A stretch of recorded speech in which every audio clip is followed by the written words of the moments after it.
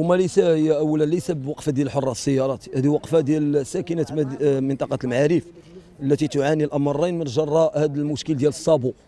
الجمعيات المجتمع المدني دخلنا في نزاع حقوقي ليكون في علمكم وكما هو معلوم.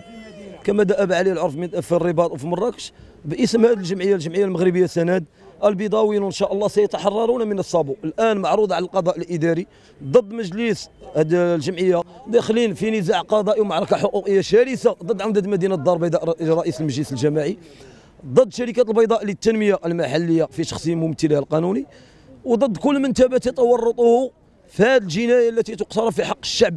المغربي المجروح من السياسات الفاشلة لأحزاب فاسدة تعاقبت على تدبير أمورنا وتسيير شؤوننا والنتيجة كنتخبوا عليهم باش يقادوا لنا المصالح ديالنا وإذا بهم كيضروا بالمصالح ديالنا. هذه رسالة موجهة إلى عموم الشعب المغربي وإلى البيضاويين الشرفاء والأحرار بأن الدار البيضاء الأم ديالنا التي تحتضننا سويا وترعانا جميعا القلب النابض للمملكة الشريفة. لا يمكن أن تهان بهذه الطريقة من طرف الهيئة المنتخبة اللي جابت باش تمرر عنا واحد مسائل تحكمية حاطة من الكرامة الأخلاقية والقانونية وضاربا في مصداقية القانون والفصل 24 71 من الدستور. الآن إلا رجعت لجميع الفيديوهات اللي منشورة عبر اليوتيوب ومواقع التواصل الاجتماعي إحنا كنجيو كنتازعوا الأفخاخ من أجل ممارسة حقنا الدستوري في تطهير المرفق العام من أدوات الجريمة.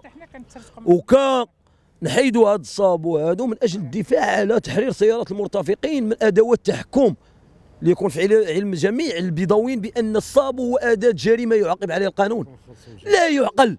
كيفما كان لأي كان ومهما كان أن يجيو يتعدى على ملك ديال الآخرين بهذه الطريقة البشعه الخارجه كروش الحرام اللي دعيناهم الله سبحانه وتعالى. كنقول واعيد وأكرر.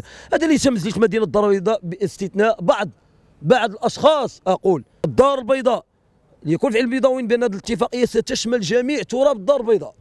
يعني ما تفاجئش البيضاوي ملي تنوض غدا تلقى l'appareil horodateur محطوطه لك قدام الدار ديالك وغتبدأ تخلص على مرفق عام اللي هو ليس ملك جماعي ولن يكون يوما ملكا جماعي بل هو مرفق سيادي بشمولية حق المغاربة فيه على السواء. من هو العمدة؟ ومن هو مدير هذه الشركة الذين يتحكمون في رقابنا؟ في مرفق اللي هو حنا حنا مواليه. الشعب المغربي مولاه وما عندش حق اي كان. ومهما كان يجي يستثمر وينفيستي في المرفق العام إلا باستفتاء الشعب.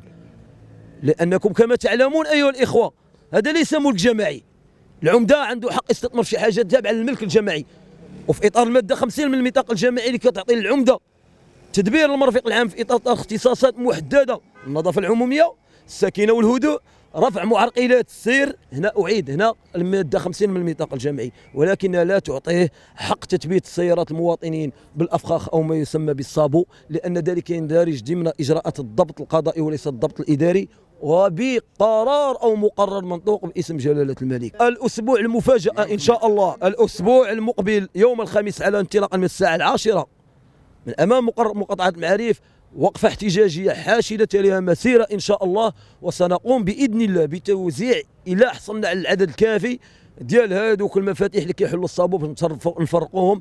غراتويت فابور على جميع ساكنة منطقة المعارف لنعمم الفكرة إن شاء الله. اللي شي صابو ينسخ عليه ويديه يعطي للمواطنين